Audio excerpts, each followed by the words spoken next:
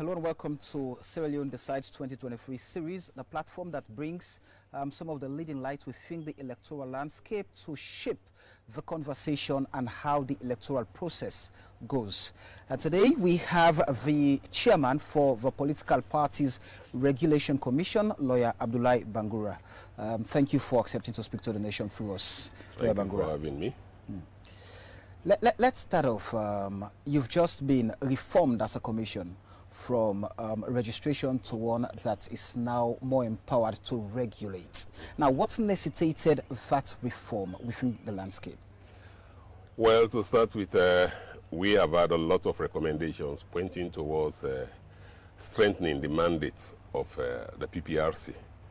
Clearly, there were instances when our constituent, the political parties, were misconducting themselves, and uh, we were handicapped in terms of uh, enforcement powers, and the public was constantly asking, and justifiably so, that uh, what is the PPRC doing? They are constituted to regulate the conduct of these people, and they are misbehaving all over the place. PPRC is not doing anything. So, because of those concerns, and uh, also those who came to observe our elections in 2018, ranging from the Carter Foundation, the UN, OAU, ECOWAS, NEW, all of them, when they went back, they wrote their reports on their findings and uh, where they think there were needs to do some improvements. I mean, if we want to strengthen our democratic credentials. and among those recommendations were that the PPRC legal regime needed to be reviewed. I mean, and uh, principally to clothe us with the enforcement powers we did not have under the old legal regime, and uh, so that we can effectively uh, do what we are paid to do. I mean, supervising, monitoring, and uh, regulating political parties. And uh, it was acting on those recommendations that uh, the Commission called a validation conference at uh, Brookfield Hotel for three days. And the validation conference was intended for all of the registered political parties. And uh, they all came, 17 of them. We presented our proposals for an amendment of uh, the whole Act, the Political Parties Act of 20, 2002. They deliberated on those recommendations we presented to them, and uh, at the end of the day, they accepted 37 out of the 42 we presented. And uh, the report of that validation conference is what we submitted to the Minister, Ministry of Justice as legislative instructions, and acting on those, uh, the outcome of that validation conference, they prepared a bill that went through cabinet for their concurrence and eventually to parliament. So that was how we came about the new Political Parties Act number 25 of 2022. Would I be safe now to say that the commission is now fit for purpose, especially as we head to the June polls?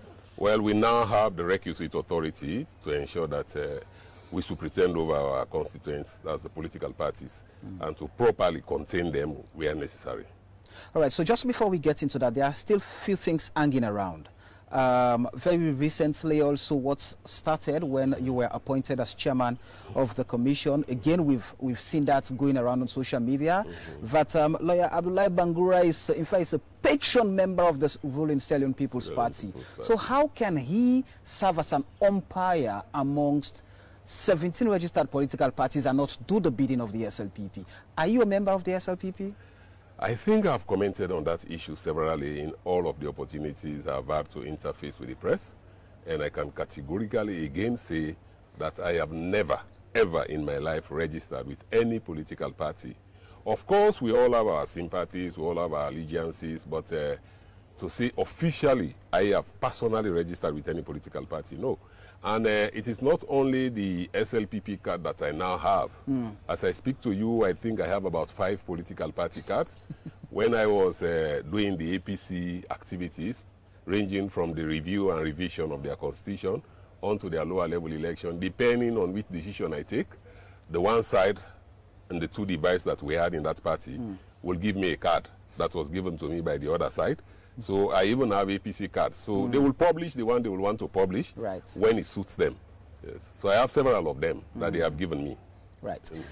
Let, let, let, let's get into some of the things happening around. Hmm. Um, so that, that's clear. That, that, and so because you've been accused, but depending on the political um, side Yeah. these politicians stand, there's also this concept of, oh, um, the PPRC at this point is killing multi-party democracy. Now, take us through the, the activities of the Political Parties Registration Commission in mediating and settle and, and settling disputes between and amongst political parties, both inter, inter and intra. Yeah, we've done quite a lot on that score, and uh, we've handled a number of uh, intra-party uh, uh scoreboards, particularly, particularly for the two big ones, the APC and the SLPP. I mean, the SLPP, they did their lower level election some time back. And then when we got the results, we had uh, quite a number of petitions. And we upheld those petitions. And in fact, in their own case, we personally went and redo those elections ourselves and that did not earn me the friendship of uh, some of them, the leadership, mm. and uh, I have been facing some animosities coming from them. Mm -hmm. But the good thing is, uh, the leader of that party, at some point when we were being attacked on the field, he called us, mm. The commission and the leadership of the party, and uh, he sent out some admonition to the leadership of his party that, uh, as a commission, we have a work to do, and that we should be allowed to do our job without favoring anybody or doing anybody's bidding. So we had that challenge with their lower level election. Then come their uh, constitution that they were reviewing and revising.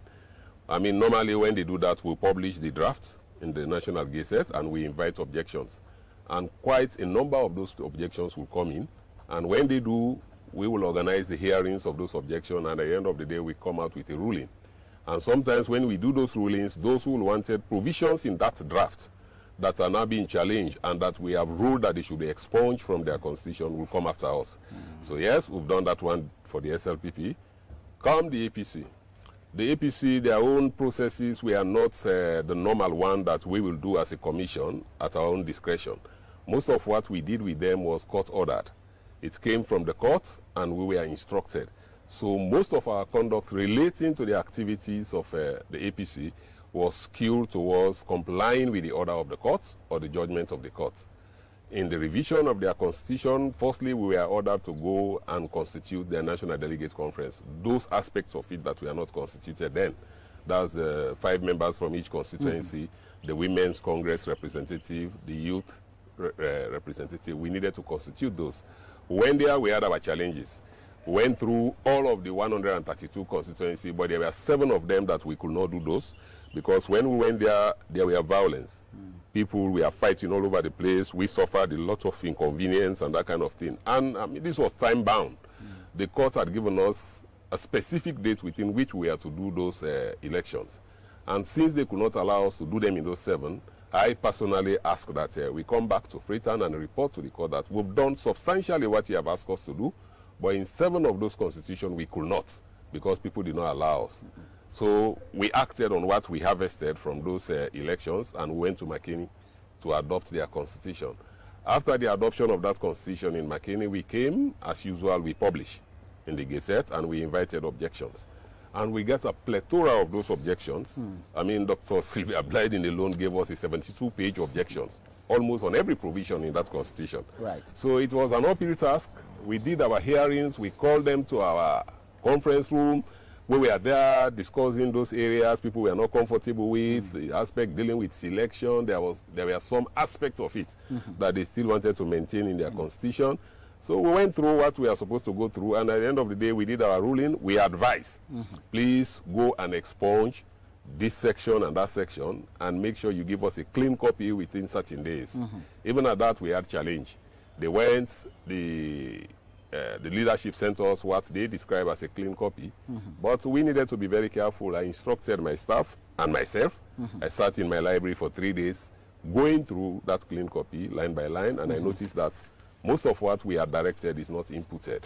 So mm. we wrote again and said, no, you've done enough, but you've not done all. Mm-hmm. Do it again, and let us see if we can get a clean copy, a cleaner copy. Of course, they complied, but not without us suffering some collateral damage by way of invectives, mm. Mama then didn't align, mm. cost them, and then kind of thing. But our focus is on the general uh, membership of political parties. I know that uh, I'm not a very good bedfellow with the leadership of political parties because I have always taken a central position. Mm. The parties are owned by the ordinary members. So my focus in every dealing I have with them is the interest of the ordinary membership of the party. If you want me to compromise that, that is, I mean, normally where I fall foul with them. I will not take that. Right. So we were able to manage that, and eventually we went to their lower level election. You were following the news. Right. I've been on your medium severally, respecting certain allegations levied against me. I mean, either side. Right. I mean, the those who were in authority and wanted to retain authority, I mean, they were accusing me of being weaponized against them and uh, sympathizing with the reformists. And the reformists, sometimes I take some action in the interest of the ordinary membership. They will accuse me that I've been bribed 400,000 euros by the His Excellency, the ex-president. But, you know, I did not allow that to stampede me in my work. I sat in the middle and I ensured that uh, I tend to the interests of the ordinary membership of the party. At the end of the day, we were able to go through those processes, and even the constitution they insulted me for, all of them, the final product that came out, they were praising in it Right. that this is the best they have had in their party, and even the intra-party elections we conducted. Of course, those who lose, they will complain. But my focus is if you say you have say over a political party, go tell it to the ordinary members. Because when I go to the field, what those that will appear before me as members of those political party will want is what I will go by.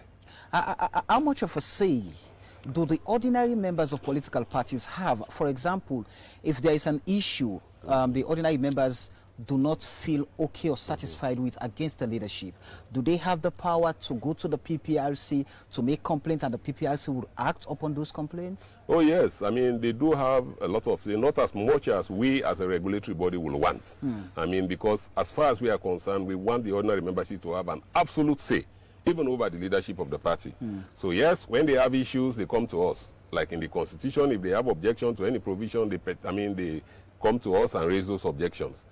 In their internal democracies, the conduct of their lower level election, if they have issues, they petition to us. And uh, we were very, very shift in handling those petitions, particularly the APC, because at the time they were conducting their intra-party elections, I mean, the election cycle was almost at an end. So we were determined. Sometimes I would get up to 200 to 300 petitions. And we have been able to handle those petitions on record time, time sorry. Sometimes we do those all of those petitions in three days, and then I will deliver a ruling. And one of the things I have adopted since I took over leadership of that commission, we do not do anything there orally. Everything we do, we put it in writing. Because it's not about those who are there now, who are the helm of things.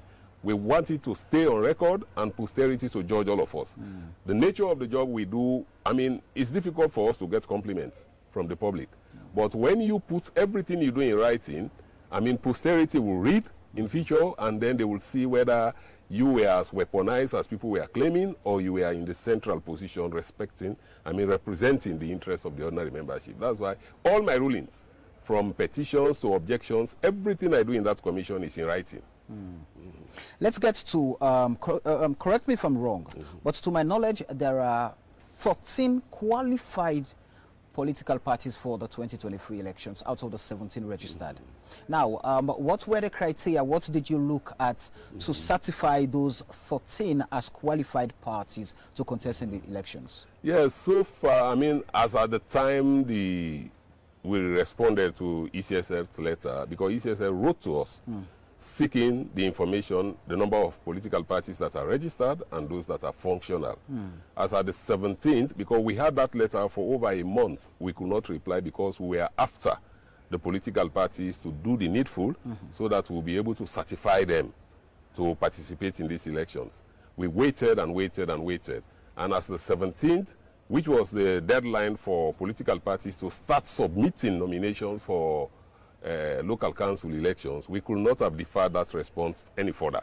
So we replied on the 17th. As at that time, 13 of them were certified as uh, those that have met the criteria substantially to participate in the elections. Then after that letter, in the evening of that letter, the UNPP came with some of the things they had not done in terms of uh, their audited financial statements and uh, their asset declaration and liabilities. So they came and said, okay, Chairman, sorry we could not come before you do your reply, but now we have met this criteria. Can you help us? So I did another letter to ECSL and updated them that uh, I have sent you 13 certified one, but now one of them is also met the criteria substantially. And therefore, we want you to include them. So yes, we have now 14 political parties that we are certified to go. Now, coming to the criteria that we are asking about. Yes. One, you have to be registered, which all 17 of them were. Because uh, I have always resisted the registry in any political party. If I had gone by the law to deregister some of those political parties, a good number of them were in default.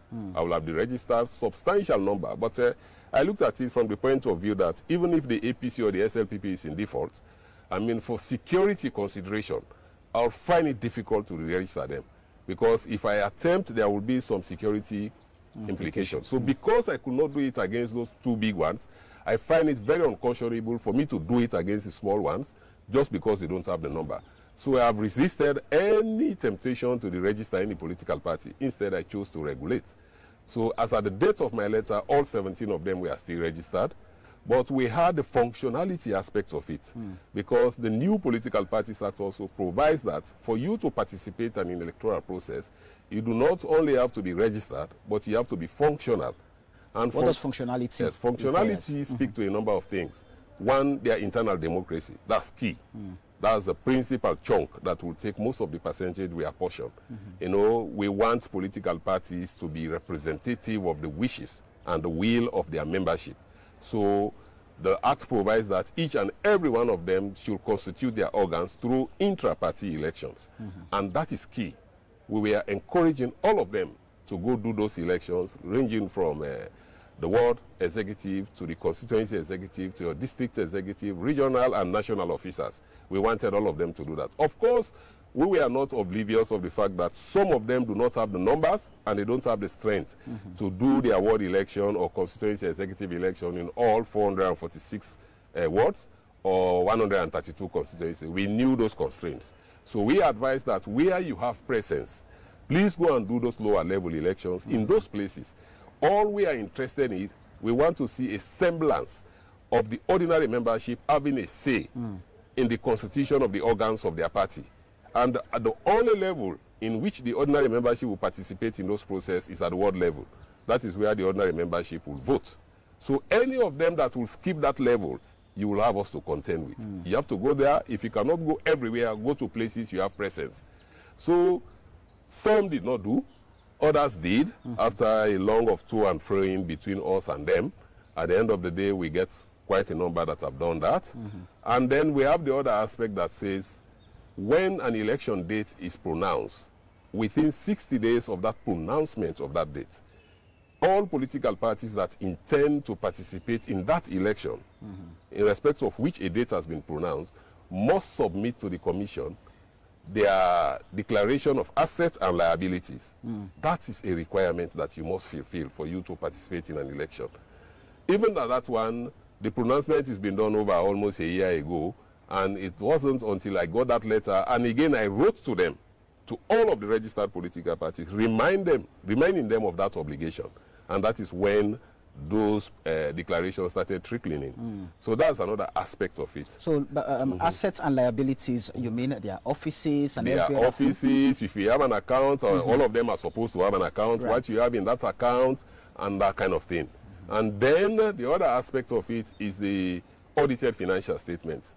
That is not an electoral requirement. That is a requirement that they should do every year within the first three months of every year. Mm-hmm. They are supposed to submit to us an audited financial statement of their parties. Mm-hmm. And all of this is geared towards what we call political finance in the work we do. Mm-hmm. Because we, as an oversight body, we need to know where these political parties are getting their funds from, who is giving them these monies, what are the purposes for this money, and how these monies are expended. Political parties must be accountable to not only their membership, but to even the state. The purpose of that provision is basically to uh, kind of stop the political leadership from mortgaging our country by receiving monies from very unscrupulous, maybe business people, I mean, in the promise of advantage or favors in the event they win power. So we need to know where they are getting those monies and why those monies were given. Is there an ulterior motive? Are they seeking an advantage, the donors? And then also, we need to know if they are not getting those monies from uh, organized uh, crime uh, syndicates, like terrorist groups, Mm-hmm. where you will receive those monies and then jeopardize the security of the state. All right, um, stay with me. Um, we'll come to talk about the other important um, areas in this interview just after this break. Okay. All right, welcome back. This is Sierra Leone Decides 2023 series where we bring some of the leading light within the electoral landscape to shape and guide the electoral processes as we um, head to the polls in June. And today we have the chairman for the Political Parties Regulation Commission, lawyer Abdullahi Bangura. Now, lawyer Bangura, we were talking about the criteria that political parties must meet in order to um, be able to contest in the elections. And out of the three parties that did not meet those criteria, one has been audacious enough to call out the PPRC that you are killing um, the aspirations of smaller parties. You are doing the biddings of the ruling SLPP because she feels she's very vocal. She's been very bold to call out in her own description wrongdoings in the, on, in, the ruling system. And so they're using you to kill a party. That's Femi Claudius Cole of the Unity Party. What is the problem? What did she not meet to have allowed her to contest in this election? Yes, uh, before going to Femi on specifics, let me comment generally that uh, if we had gone strictly by the law, only three political parties will have participated in this election because those are the ones that met the criteria fully. That's the APC, SLPP, and NGC. The others, we decided to grade them by percentage because we do not want to constrict the political space. And therefore, we had a threshold of 50%. If you are 50% compliant, we will certify you as a a party that is qualified to participate in the elections. For Femi, I do not have any reason to act in any way, I mean, uh, especially in our own case. I mean, everything that I've done relating to our party is the same thing that I've done in respect of all other parties. I honestly do not know the quantum of the political landscape that Femi occupies that uh, I will target him. To what end? She does not even occupy a modicum of that space. So I have no reason to target Femi. And uh, the thing about, him, about her, sorry, she is always chosen to be confrontational and always to be dis disrespectful of the oversight body. She is never actually find reason to comply with any directives we've given to her. She will always have issues and she's always taking a confrontational stance, stance when it comes to the PPRC. To what end, we don't know. And uh, as I said, I am not aware of anything special that uh, we've done to her with the intention of uh, stifling her or our political party. We have no reason to do that. We had our criteria, as I've already explained to you, and uh, all of the political parties that we dealt with, we had advice. I have done several letters to them in respect of compliance. Even before I got the letter from ECSL requesting to, for that information, I had done those letters over two, three years ago, reminding them of their obligations. And they have chosen not to do that. In the case of Femi, the problem we had with her is Femi did not see reason to do our ward and constituency executive elections. He wanted to go direct to district and regional executive elections. And we at the commission, our focus is on the ward. We are interested in the constituency, district, uh, regional and national officers, but our principal focus is on the ward. Because as a commission, we are constituted to seek the interests of the ordinary membership of political parties.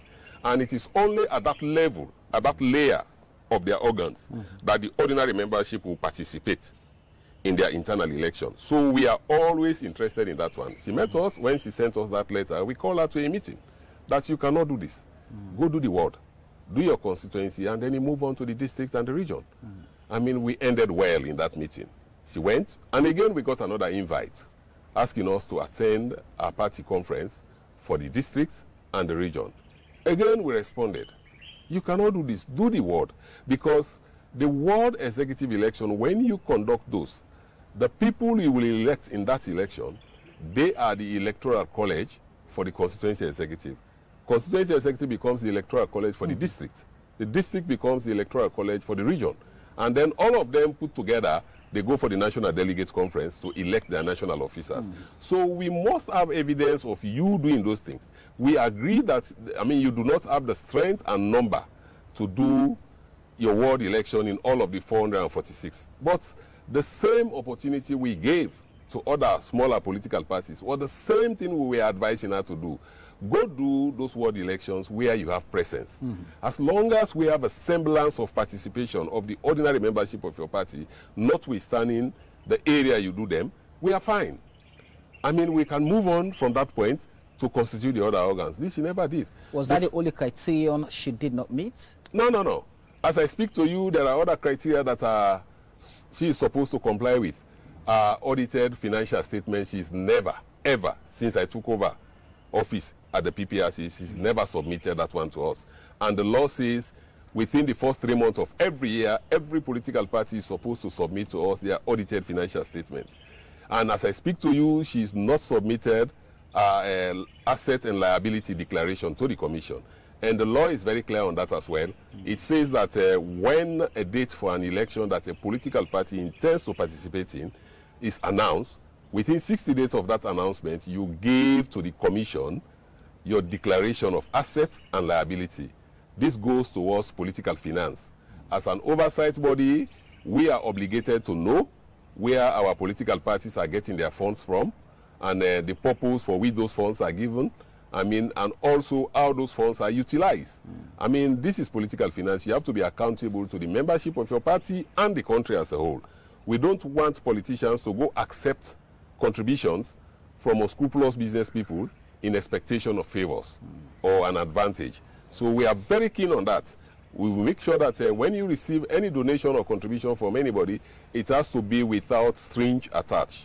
At the end of the day, when you win power, they will want to, you to give them huge concessions, very big contracts mm. for them. We don't want that kind of thing. And we also do not want our parties to accept money from organized crime organizations like terrorist groups. We do not have that here for now, thankfully. But that does not mean that we are going to turn a blind eye to that. Mm. We have to monitor those. So this is why those provisions are made in the law, mm. so that we will know where they get their money, who gave them that money, what they did with that money. Mm. There, there, there, there is a letter in the public domain, and um, the letter is from the Sierra Police mm -hmm. that um, for, with, with, the directives from the PPRC, mm -hmm. um, Femi Claudius Cole National Delegates Convention mm -hmm. at Grafton was stopped what was the basis for that convention to be stopped? Since the appointment of the current Inspector General of Police, he's developed this very responsible uh, leadership practice mm. that uh, each time any of our political parties are having any activity, we as an oversight body, it will write to us, are you aware of this particular activity this political party is getting? Mm -hmm. Are you aware, I mean, is it legitimate? Can I provide coverage? If we are aware and it is fine, the party is fully in compliance, we'll reply back to say, here, we are aware, do your job. Mm -hmm. If we are not aware, we will say that. If we are aware, as it was in Femi's case, but we had issues, we will definitely inform the police that we are aware, but uh, as far as we are concerned, we don't think this is a proper thing. Mm -hmm. There are issues that we have as a commission. Mm -hmm. She is not complied with the directives we've given them, and she is not complied with the law. And that was the response we gave to the police. Mm. We did not instruct the police to take any action. It's an independent institution. What they make of the information they get from us in our reply mm -hmm. is exclusively their discretion. It is not for the PPRC to tell the police, do this or don't do that. They ask us, we told them, yes, we are aware, but as a commission, we have issues and we are not attending. Mm. And the police use their discretion to withdraw. You did not sanction it? I did not sanction it. Mm. I have no business sanctioning it because it's an, uh, another institution. It's an, they have their own leadership. Mm. They take their own decisions. They sought for an information from me. I provided the information. What they make of that information is for them. Let, us let, get to it. In 2018, Femi Claudius Cole was one of only two female presidential candidates mm. that um, contested for the presidency. And her party also was given the green light to contest.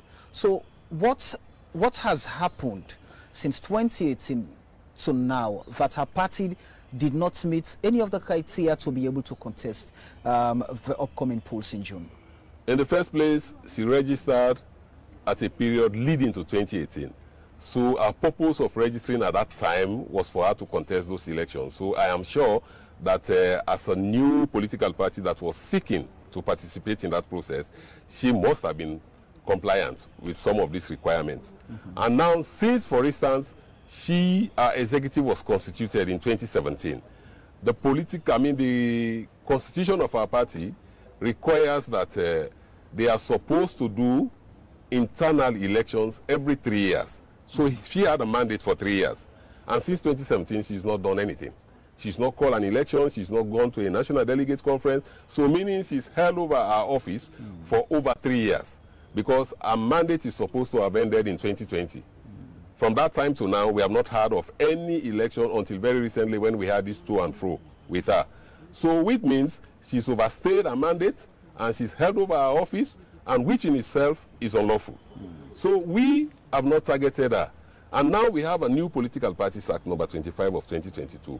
Most of what we is contained in that act now in terms of granting the commission regulatory powers, mm. we did not have at that time. Mm. And so now that those powers are conferred on us, we are obligated, we are accountable to the public to ensure that we do the job that we are paid for. We cannot sit back and allow things that used to happen to continue to happen mm -hmm. when we did not have enforcement powers.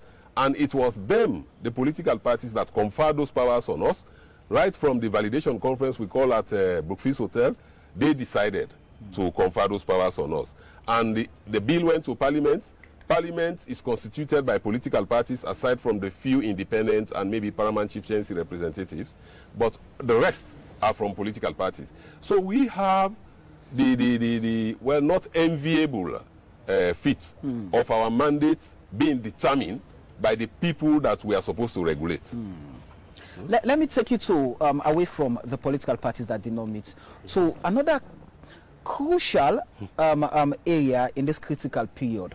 We, we've seen in other countries where state capture is becoming a normal thing. The issue of campaign financing. How does the Commission plan to track and monitor campaign financing so that institutions, businesses do not capture the state of Sierra Leone by financing political parties? I must admit that uh, we have capacity issue when it comes to political finance. Mm. But uh, in view of those capacity issues, that was why the new political act, Political Parties Act, is now made us a five-member uh, commission. Mm. We used to be a four-member commission. But now they've brought in another commissioner mm -hmm. who should be a nominee of the Institute of Chartered Accountants. Right. I mean, the intendment there is to get somebody that will assist us with political finance.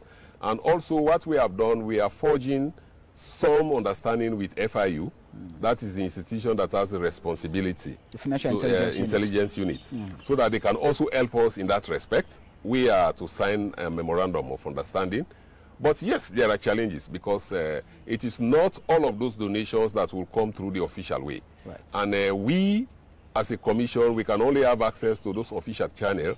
And uh, we will continue to do what we can mm. to ensure that we monitor that aspect. But as I said, yes, there is capacity, I mean, issue, and also the compliance rate of our political parties, because they are aware of these provisions, they do not go normally through the official channel, I mean, to receive contributions from their sympathizers and supporters. But we'll continue to monitor and we'll also continue to seek the assistance of not only FIU but even the press to help us with information that will point towards anything that is uh, geared towards mortgage in this country. Let, us let's, let's talk about um, something crucial. Ban on political rallies some of the parties, especially the main opposition APC party, has raised concerns, saying, oh, this kills democracy because democracy presupposes the free space to assemble, the free space to express one's um, opinion and all of that. So what was the basis and how did we as a nation arrive at that decision of um, putting a ban on political rallies? We have not actually put a ban on political rallies. Mm. What we have decided to maybe audit is the procession of party supporters mm -hmm. commuting to and from designated areas that their political parties have always rallied. Mm -hmm. And uh, in terms of coming to that decision, the new political party, as I said, is conferred a lot of powers on us. All of those enforcement powers we did not have then, we now have. Mm. And therefore, as a commission, we have a responsibility to make sure that we execute our mandate to the satisfaction of those whose monies are being used to pay us, mm. The ordinary person. Mm -hmm. And uh, when we had those powers, I invoked those powers against the APC and the SLPP in some instances where they misconducted themselves. And when that invocation was done, I noticed that there were a lot of grumblings from both political parties. They did not like that. Mm. And uh, they were kind of saying that uh, we were a little bit high-handed. But we acted within the law.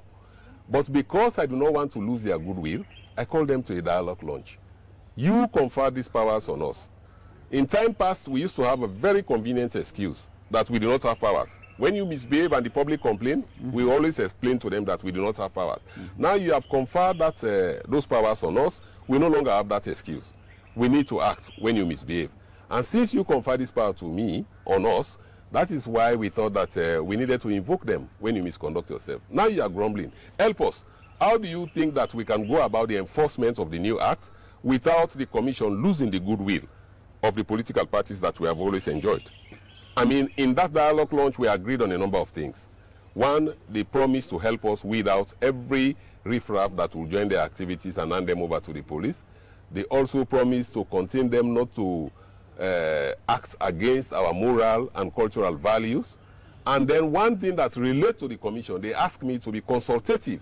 Each time one of them would transgress against the act, before I come down with the hammer, they asked me to be consultative. Mm. And uh, I made a promise to them that I'll try to do that. And on the basis of that promise, on the 27th of March, I called a meeting. I said, now let us come and hang it. We all know what used to happen in this country. In fact, that was one of the reasons why the election observer, observers that came in 2018 recommended the strengthening of our mandate because when they came, the manner in which some of you were conducting your campaigns, you were causing a lot of distress to the public. Mm -hmm. People did not like that. When you are out, children don't go to school. When you are out, the market woman does not go to the market to fend for the family. And we live in a subsistence economy. 80% of the families in this country, they need to go to the market every day. They need to go out every day to fend for their families to put food on the table. Mm. And if you come out and you encumber the street, you ward off these people from where they go to fend for their living. Mm -hmm. I don't think it is right. What do we do? Now we have powers that we did not have before. Most of those conducts we are perpetrating, they are now prescribed in the new act. And there are sanctions that are prescribed. Help us. How do you think that we can enforce this?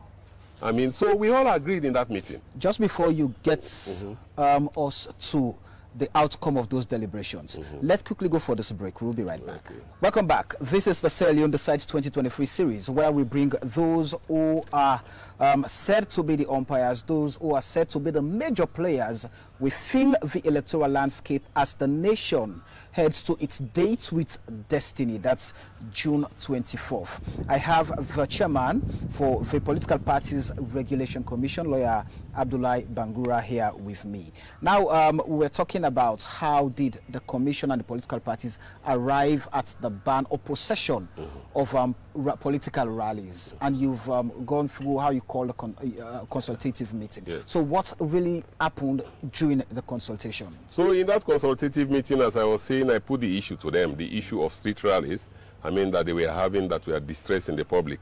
And uh, let me make this clear. Mm -hmm. We will have done that by way of an a, regulatory uh, uh, decision mm -hmm. without consulting them. But because I made a promise to them that I will be consultative in the evocation of our powers, I chose to call them. And in that meeting, every political party that was in attendance in that meeting agreed that we should put on hold the street rallies and uh, encourage our supporters to be going to and coming from the designated areas political parties will be campaigning in smaller numbers. Does that include the APC? The APC was there and uh, they were represented by the Secretary General of that party with two very senior members of that party, Dr. Richard Konteh and Marie Tambaka. They were there. Mm. And these are gentlemen of credit. I mean, I want you to cross-check it with them because I've had the APC Secretary General severally mm -hmm. given an interview on this issue, but he's never actually categorically said that uh, they did not agree. Mm -hmm. He's threatening to resist any attempt at arresting their supporters when they are going to their activities, mm -hmm. but he's never said because he knows that I have his clip. And if he comes out definitively and say he did not agree, I will have published that clip. But because he's not said so in so many words, that is why I chose to continue to respect him and not to publish that clip. But yes, they agreed. Mm. All of them agreed. The APC and the SLPP, they had issues. Which were? And the issues they raised were that now that we have agreed on this, we want the commission to assure us that when our people will be commuting and com I mean to and from our designated areas, they will not be unduly harassed by the security sector. I said, okay, I think what we should do on this, I promised them that we'll do some guidelines that will help to guide the political party as to how we'll want them help us to get their supporters to conduct themselves while they are going to these designated areas.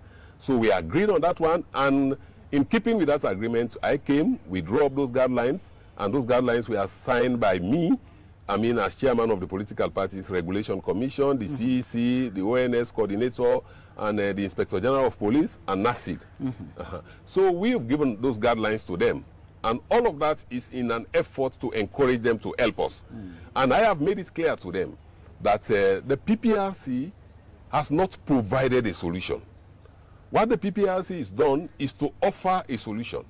And for that solution to be effectual, we need the goodwill of everybody in the political landscape. And we, I could have sat down and allowed them to do things as they used to do. And then when they misconduct themselves, I come after them by way of sanctioning them as prescribed for in the new act.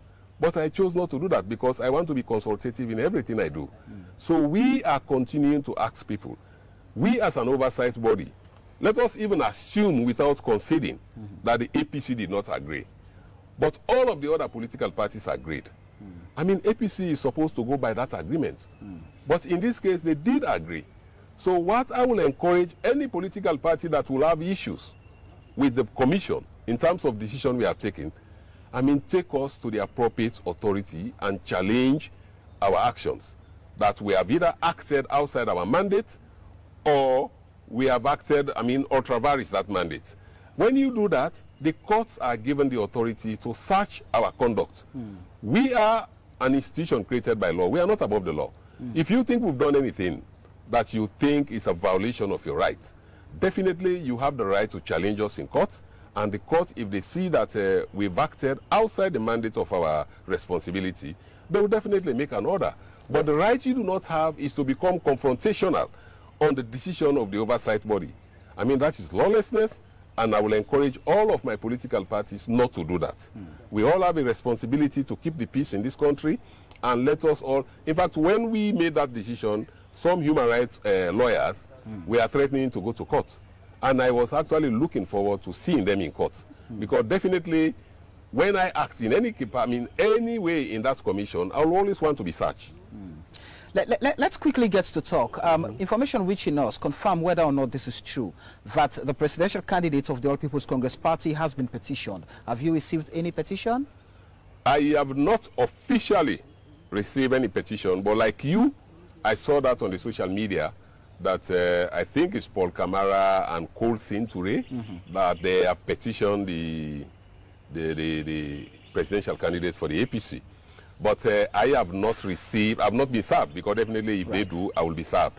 And until I am officially served, I cannot say definitively that is what has happened. Okay. What I have seen is on social media and I'll wait until I get the official correspondence respecting that issue. Constitutionally and according to even the Political Parties um, Regulation Act, political parties are formed to shape the political will of the people and um, to advance the socio-economic needs of Sierra Leoneans. Now, going by those dictates, are the political parties of Sierra Leone complying with all of these, putting um, foremost the interest of Sierra Leoneans as they seek their political interests? I think we still have challenge in that respect for most of the political parties, and uh, this is something that is very, very worrying. And I think that uh, as leaders, they will try to demonstrate leadership in everything they do mm. and in everything they fail to do. It should always be geared towards the interests of this country. I mean, uh, in all of the engagements I've had with them after the Nigerian elections, I've always cited the example of Peter Obi. Mm. Those of us who are following those uh, elections, mm -hmm. we knew the kind of uh, promise he had in terms of uh, winning those elections. But when the results came out otherwise, he did not take to the media to insult state institutions. He did not take to the media to insult state officials. Mm. He has not said anything that is insightful. He never stoked any violence from his supporters. He came, he complained about the results in a very decent fashion, And I think the strongest word he used in his statement is that these elections will go down in the history of Nigeria as the most controversial one. He did not insult their electoral commission there. He did not insult other. I mean, so when you begin to be utterly disrespectful to state institutions, that is where the problem starts. I mean, we are put there by law, and definitely, I don't think if you are opportune to occupy those offices at some point, you will want to be unnecessarily targeted by some of the hostility that we have suffered. But yes, it comes with the territory, and we are trying to manage the animosity as long as we know we are acting within the mandate that is given us. But uh, politicians should be mindful of what they say in public, and they should display, I mean, uh, leadership. And leadership is about self-restraint, and uh, is about selflessness. In 2018, just as we try to, to round off this conversation, in 2018, the Citizens Democratic Party, CDP, when it was formed, I mean, around um, the principles of religion, and we, we, we saw where um, preachings were ongoing about Allah is one. Mm -hmm. uh, a party that was said was just advancing the cause of a single religion, which was going to sow mm -hmm. a terrible um, discord between and among Sierra Leoneans. Mm -hmm. Now, how are you tracking some of these activities, utterances of politicians in public, and to call them to order in the, in the name of peace, unity, and national cohesion as we head to the June polls? Yes, we are doing what we can. And as I said, when politicians put their personal ambitions and interests above the country, then you will have problems. Mm -hmm. Yes, I know that uh, I was not in office then, but uh, when that uh, party had that slogan, Allah is one. Yes. I mean, there was a huge hue and cry from mm -hmm. members of the public for obvious reasons. We have a political tolerance here, and I think that is one of the biggest gains we have in this country. You will see a Christian getting married to a Muslim, and they live amicably well in that marriage. Mm. And we think we want to continue in that trajectory. So we will not encourage any of our political leaders mm to peddle religious hate and uh, religious differences. We don't want that in this country. So we'll continue to monitor the political landscape. As I said, uh, there are times when people, at the time they acted, they were in their personal capacities. Mm -hmm. I mean, we had the incident of uh, uh, the, the, the Dr. Samura in Makeni. We had the other issue that was complained about by Gento. Mm -hmm. But at the time those people made those statements, they are just individuals. Right. And as a commission, we are constituted to go after political parties and their leadership. Okay. We cannot go against individuals. At the time Dr. Samura made those statements in Makeni, he was not flag bearer of the APC. He was aspiring to be. So he was just Dr. Samura. Mm. At the time Gento made this statement I mean, in the mocks people were complaining about, mm -hmm. he was not the mayoral candidate of the SLPP. He was aspiring to. And therefore, we did not have any entry point mm. to call them to order. But again, we will just continue to appeal. Let us put the country first and let us make sure that all of us work towards the maintenance of the peace. This is an election. At the end of the day, whoever wins, I mean, we'll have the mandate of the people to govern right. us. Thank you very much, Lawyer Bangura. A pleasure. It's been a pleasure. All right, and there you have it um, from the um, chairman of the Political Parties Regulation Commission, Lawyer Abdullahi Bangura, about happenings, activities in the political landscape, especially around and about political parties. This is SL Decides 2023 series. Until then, take care of yourself. My name is Samuel Wise Bangura.